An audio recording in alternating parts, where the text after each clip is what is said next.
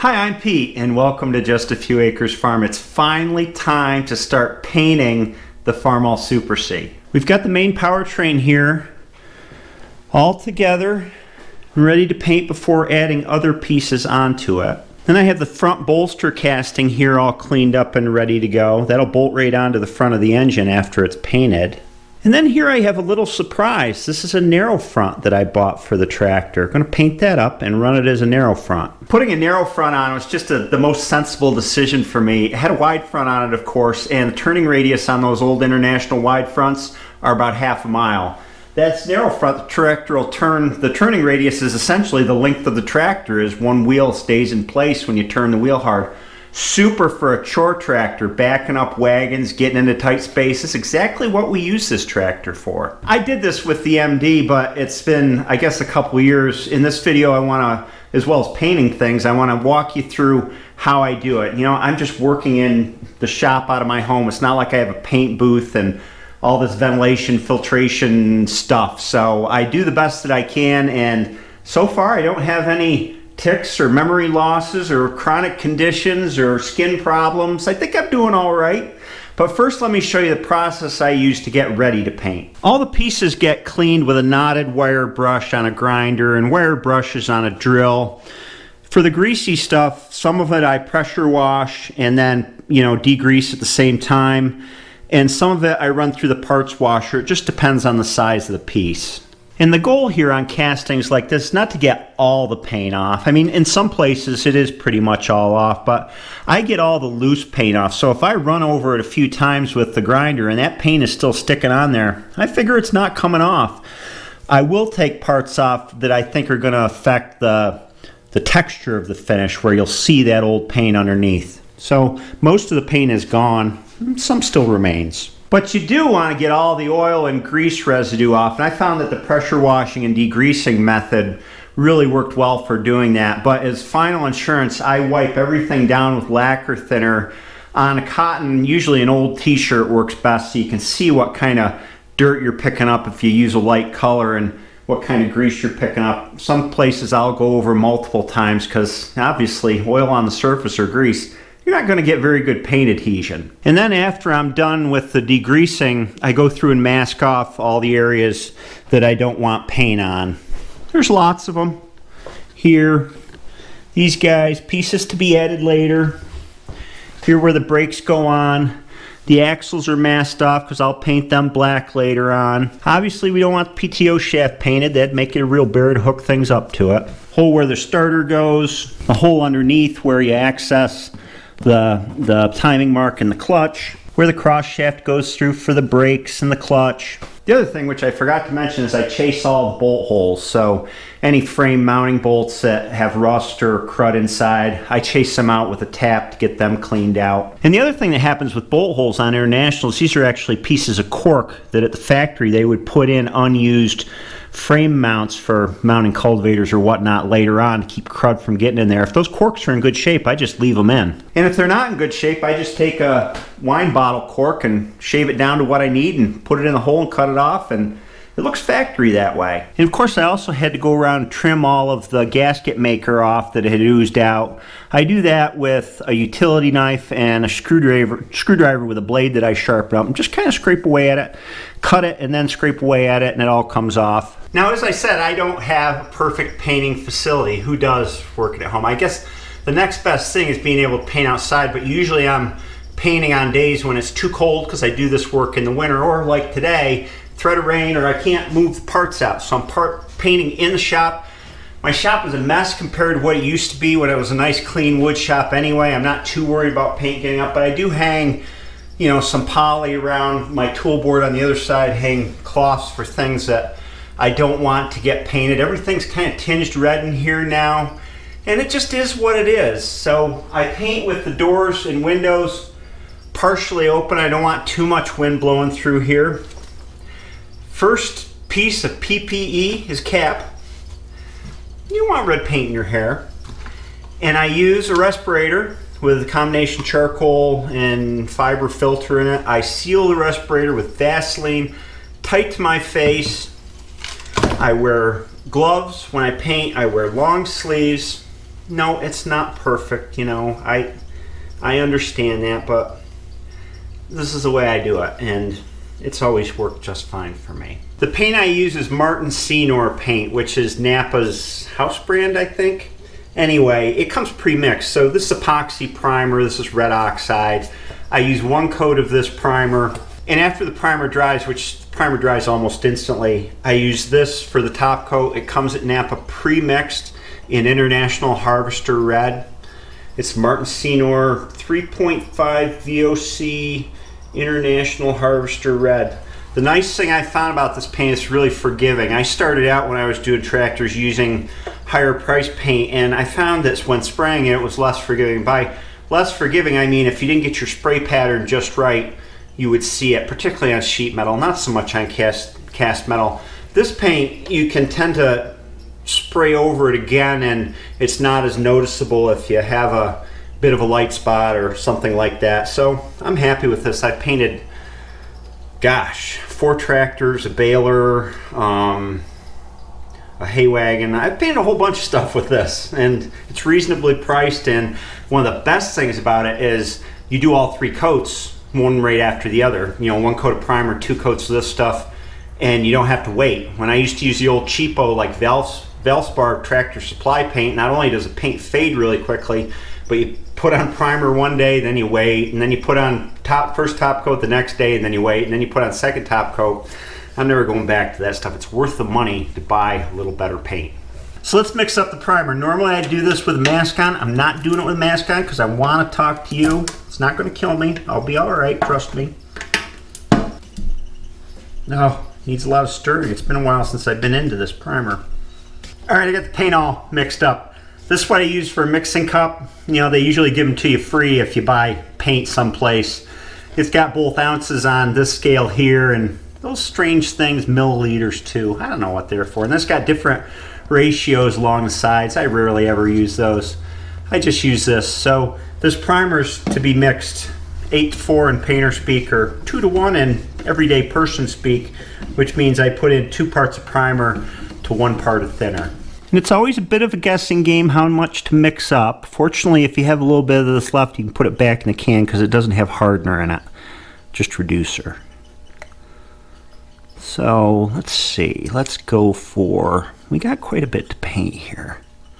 18 ounces of paint and 9 of reducer would be 27 ounces. Stir it up all nice. Now to spray the paint, I use an HVLP gun, high volume, low pressure. And this is an Ingersoll Rand 270G, I think is the number on it. I had this one for probably 15 years, never let me down, but I'll tell you what, it was getting tired. So I got a new one, exactly the same, 270G, Ingersoll Rand still makes the same one. It's not a fancy gun, it just gets the job done. It's easy to clean and take apart, so I stick with what works. And we always, always pour our paint through a strainer just in case any little bits got into it. We don't want them clogging up the gun. Then with this paint, I use lacquer thinner for cleanup. And I always keep a bucket of my used lacquer thinner and the solids settle out to the bottom and you can get more than one use out of it. And I stick my painting stuff like my mixing cup in here and just let them sit until I'm done and then I can do a final cleaning on them. Since I've never used this new spray gun before, I'm going to have to adjust the controls and there's three of them. You've got your pressure regulator, so um, I'm normally spraying at about 25 PSI. I think these guns go up to 40. That's the low pressure in the low pressure system. And then you've got a fluid control knob, which um, controls how much paint you're putting out per spray how densely it's going out. And then on here's a pattern control knob. As you turn it, you get a longer spray out of here or a more spot spray. So I'm gonna adjust that. But I gotta put on my mask first. We coat this gasket here on the mask with Vaseline. Don't worry about the paint on my gloves. It's already dry. it's not getting mixed in. And then we're ready. Maybe. Oh. Luke, I am your father. I can never resist that joke with a mask.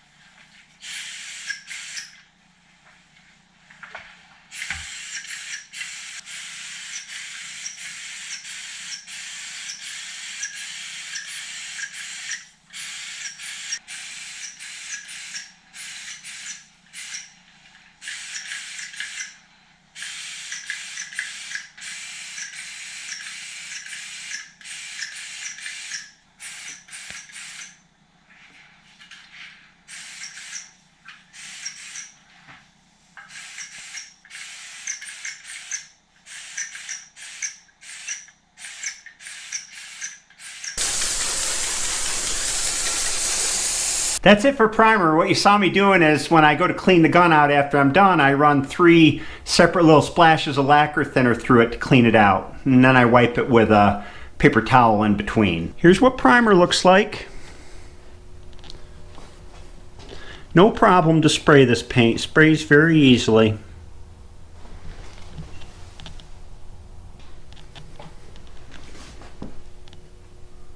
Here's the front pedestal. You know, getting into all these nooks and crannies, you're never going to be perfect. You do it as best you can. No paint job is ever perfect. That's a good thing to always remember when you're painting. It's never going to be perfect. And one of the nice things about painting on cast metal is you can go back and touch up with a brush and the texture of the paint isn't so much of a problem because you're working on rough cast metal. So with that front bolster, if I see any areas that obviously need some paint, I'll just put a brush to it. A small, like, detail brush. I use that for touch-up all the time. Now for the paint, the mixing ratio for this is 8 to 2 to 1. So our 8 parts, I'm going to do two and a half times. We're going to go to 20. And two parts reducer, so since I'm doing a two and a half batch, that would be five ounces of reducer. Bring it up to 25 and then one part of hardener, which would be two and a half ounces. We'll just eyeball that. Stir it all up. The pot life on this paint with hardener in it is kind of an astounding three or four hours at 70 degrees and it's only about 60 degrees here today. I got plenty of time. If I have extra after the first coat, I'll just leave it in the gun and start second coat with it or add to it. Now, I have to I have to make a Lester comment. I don't know if you remember Lester from when I was painting the MD, but he said that my paint looks like Allis Chalmers orange. The camera doesn't get the color right, so the paint is going to look like a lighter red than it is in real life. And the other thing is that I found by looking at the MD since I've had it out in the sun and working for a while, the paint actually, the red deepens up after it's in the sunlight and cures for a period of time. So that's the story with that through the strainer and into the gun. This paint's thicker than the primer is, so I usually have to adjust the gun settings, and I use that wall of polyplastic that I have to check my settings before I start spraying on the tractor.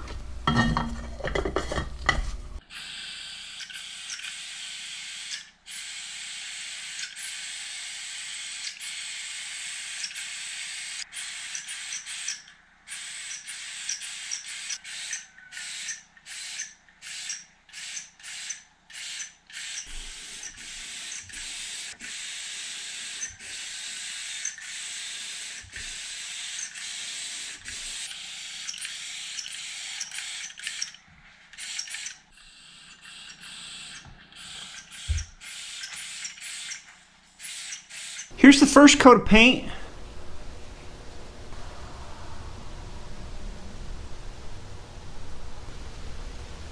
I'm terrible at panning shots. Here's the pedestal. It's interesting casting in the side inside of it. And then the bottom of it where the two wheels hook on the front. And there is the casting for the two wheels. I had about a third of my paint left over from the first coat, so I'm mixing up another double batch, not quite as much. Second coat's probably the worst coat for me because the appearance isn't changing all that much. It gets a little shinier and smoother, but it keeps it, it's hard to keep track sometimes where you covered and where you have it. You got to be real careful and remember kind of which you've hit and you're going over things for the third time. It's like I've done this before, twice.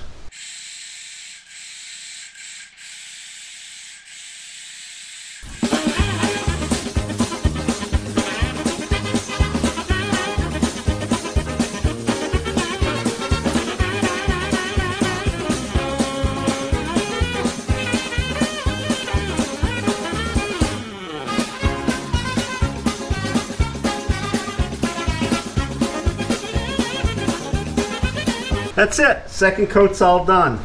When I'm done painting, I do the normal three lacquer thinner washout, and then I take the tip, whatever you call it, nozzle, put it in here, put some lacquer thinner in there so the nozzle can soak, clean off the outside of the gun, then put the lid on the whole thing. You see you get a little bit of clear that'll soak the guts of this in lacquer thinner until next time. Looks very good. Looks like a new tractor. Kind of is a new tractor. A 70 year old new tractor. Second coat makes it look nice and glossy and shiny. But I have to say, this camera just doesn't do it justice. I'm looking at it through the camera and looking at it in person, and it's so much lighter on camera. It's the next day, the paint is all dry, and I brought out a camera with better color rendition to see if I can show it to you guys more accurately. To me, this looks more accurate, and like I said, it'll deepen as it cures.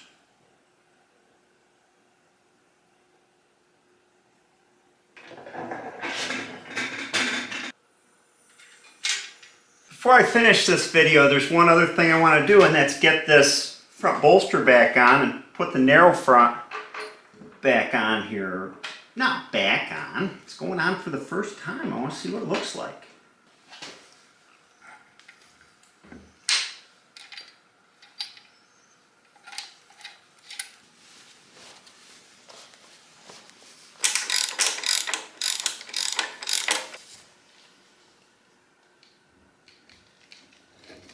I forgot to paint these nuts, so I'll have to paint them with a brush afterwards.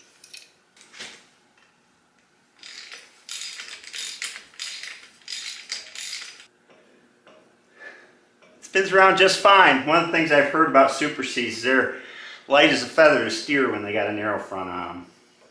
Guess I'll find out. That does it for the first round of painting on the Super C anyway. There will be many more rounds of cleaning parts and painting to come and adding them on the tractor. I think that the next milestone I'm shooting for is to get the wheels back on the tractor. I'm going to get new rubber all the way around. I got to clean and paint the rims and that's always a big job in the wheel centers. Get the tires on so I can push it out of here while I'm painting parts and push it in and out. It's light enough where it's really easy to do. So I'll be working toward that next. It's going to take me a while to procure tires and get things cleaned off but after I do I'll be back again with more Super C work. Hope you enjoyed this video and I'll see you next time.